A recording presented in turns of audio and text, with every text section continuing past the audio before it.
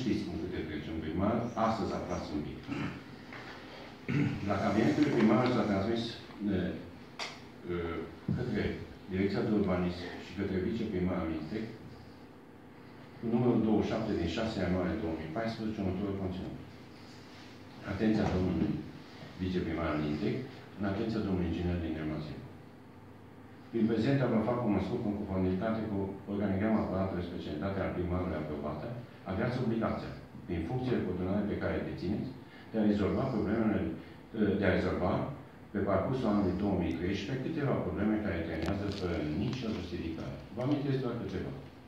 Planul de urbanism general al municipiului Lugoș, proiectarea casei Păidiciani, probleme legate de centrul istoric, unde s-au pierdut 10 miliarde de lei în 2013, datorită neproiectării. Casa de pe strada Verdan numărul 5, fosta Casa Securității, unde s-a pierdut 3 miliarde de lei. În sensul că nu a fost folosit în anul pe investiții, i-am dat în anul cel. Situația locuințelor și a documentației referitoare la locuințele pe strada Hărendești. Pentru ca să le vindem pe un preț modic la cei de pe Hărendești, cele 96 de pe strada Hărendești partea stângă, trebuia la fiecare să le facem o, un dosar de apartament, după care să pună în Consiliul Local ca să poată.